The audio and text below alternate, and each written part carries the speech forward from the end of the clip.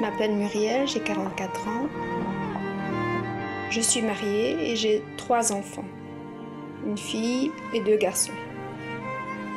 J'ai fait mon premier AVC à l'âge de 4 ans et je viens de refaire un deuxième AVC au mois de février 2016 et c'est pour ça que je suis ici euh, à William Lennox. À l'âge de 4 ans, ben, je suis devenue... euh, je suis devenue...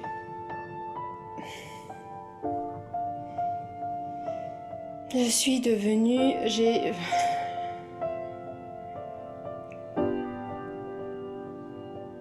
Pas facile de chercher mes mots. hein. Euh, je, suis devenue handicapée. Et euh, je suis hémiplégique à droite. Les séquelles de mon second AVC euh, sont, sont du même côté de, de mon premier AVC. Je dois réapprendre plein de choses. euh. Au départ, euh, je je je savais plus où j'habitais, j'avais pas de souvenirs, j'avais pas. Donc petit à petit, j'ai dû me rappeler mes souvenirs, euh, rappeler les, noms de mon mari, de mon mari, euh, de, mes enfants euh, que j'avais oubliés. Et voilà quoi. Alors que je suis bibliothécaire, je savais même plus, je sais, je sais, je sais plus encore lire maintenant, alors que c'était mon métier quoi. Ça peut arriver à tout le monde. J'ai une amie euh, qui a fait un deuxième AVC, mais de l'autre côté. Donc euh, elle, c'est un peu plus embêtant pour elle quoi. C'est ce qui me fait plaisir, c'est que je sens le pinceau. Avant, je sentais pas mon visage. Maintenant, je sens. vrai Ouais. Merci.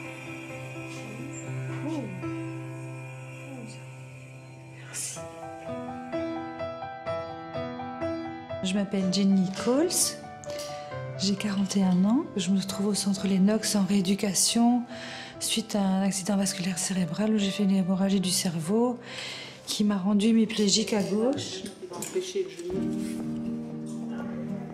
Mes craintes, c'est de ne pas pouvoir retrouver une vie normale.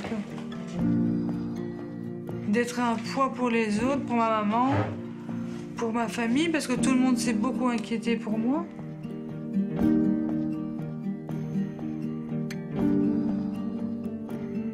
Mais non, elle va y arriver. Mais oui. Mais bien sûr. Ok, pied Hein, je fais moins des pas de flamant rose. Hein. Ouais. Comme ça.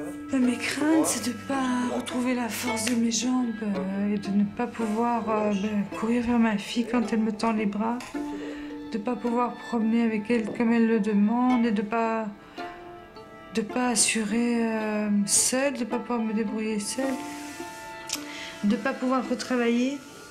Parce que je suis puricultrice et que pour porter un bébé et lui donner un biberon, il faut avoir un bras qui bouge et mon bras ne bouge pas. Donc ça, c'est vraiment ma grosse crainte. On me dit, ne t'inquiète pas pour ça maintenant, prends le temps de récupérer. Mais moi, je m'inquiète de ne pas être une maman forte pour euh, porter ma fille et, et pas me faire porter par ma fille. Parce que pour l'instant, c'est elle qui me tire, c'est elle qui m'encourage.